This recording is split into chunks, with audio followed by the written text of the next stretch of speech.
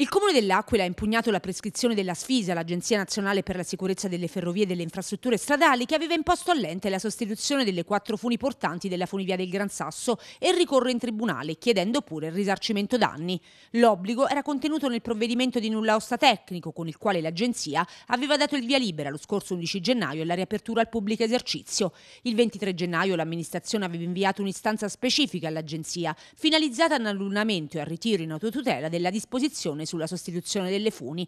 La vicenda della funivia ha scatenato una marea di polemiche, ma ha anche prodotto un danno economico e d'immagine alla montagna aquilana. L'esercizio era stato bloccato dalla Sfisa dopo l'esposto di un privato cittadino che evidenziava delle riserve sulla sicurezza delle funi, di una in particolare. Poi il pubblico esercizio era stato di nuovo autorizzato con alcune prescrizioni, oltre a questa delle sostituzioni delle fune.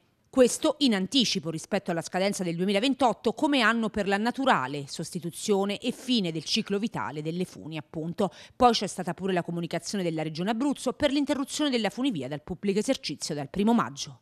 Quando si parla di sicurezza eh, c'è bisogno di certezze.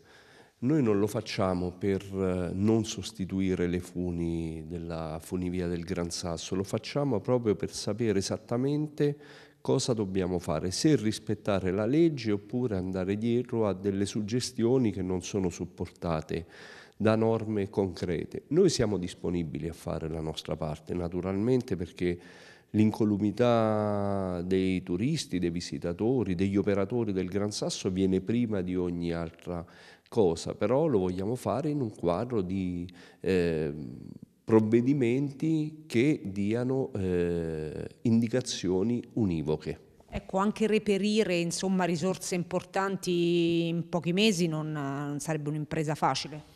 No, non è un'impresa facile, però lo faremo come abbiamo sempre fatto perché con l'attività diciamo, di salvaguardia dei conti pubblici siamo riusciti ad avere un bilancio in salute e quindi anche a costo di sforzi le, possiamo reperire le risorse.